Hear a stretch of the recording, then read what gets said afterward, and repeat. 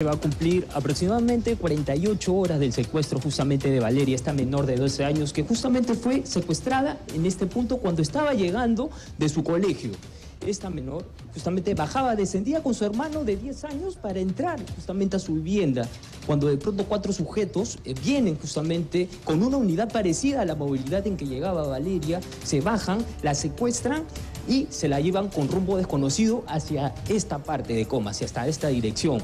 ¿no? Su hermanito de 10 años tocaba la puerta desesperadamente, salió justamente la señora que trabaja con la familia, con la familia Vázquez, y este, la señora salió raudamente pero sin poder hacer eh, mucho. Ahora, ¿cuánto es que le piden al papá eh, de Valeria, al señor Giancarlo Vázquez. Les piden 3 millones. Este señor justamente se dedica al rubro de la contabilidad. Él ha dado declaraciones Mm. ayer por la noche, hoy por la mañana, y lo que dice es que estos secuestradores se vienen comunicando con él y les envían fotos justamente de su hija para demostrarle que está bien.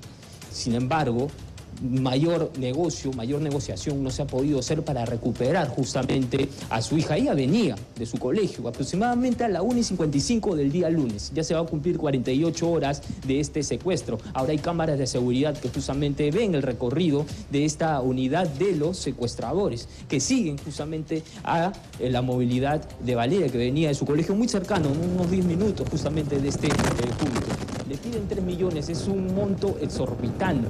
Ahora, lo que se sabe es que estos secuestradores envían mensajes justamente al, al celular del papá con quien se está negociando y los borran inmediatamente.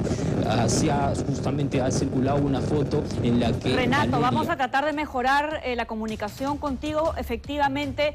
Y de hecho, estamos viendo a través de las redes sociales que se están filtrando algunas de estas fotografías que los secuestradores le estarían enviando al papá. Les pedimos encarecidamente que eh, no se hagan públicas porque eh, estamos hablando de una menor de edad y los papás están viendo este tema con la policía también porque lo importante es garantizar la seguridad de la niña.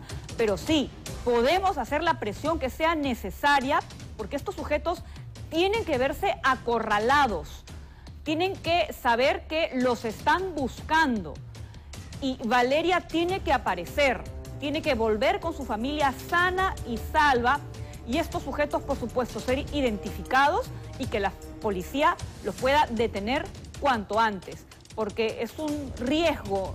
Cualquier persona, cualquier niño podría ser víctima nuevamente de eh, delincuentes como este. Vamos a volver con Renato en cualquier momento, pero ahora continuamos.